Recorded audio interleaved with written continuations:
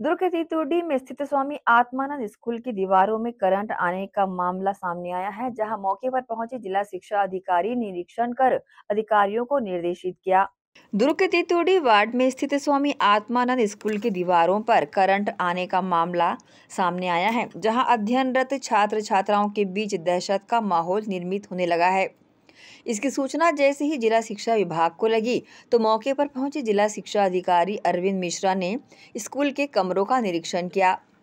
उन्होंने बताया कि सीपेज की वजह से करंट का असर देखने को मिला है, जिससे कोई भी नुकसान नहीं हुआ और इस संबंध में तकनीकी त्रुटि को ठीक करने अधिकारियों को उन्होंने निर्देशित किया। कल तीन बजे प्राचार्य को ये जानकारी मिली कि पंखे में शार्ट सर्किट के कारण दीवारों में करंट आ रहा है। क्योंकि उस समय कोई कक्षा संचालित नहीं थी जवाहर नगर विद्युत केंद्र में इसकी जानकारी दी गई।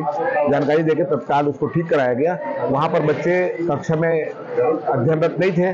किसी प्रकार की, किसी को कोई हानि नहीं हुई है।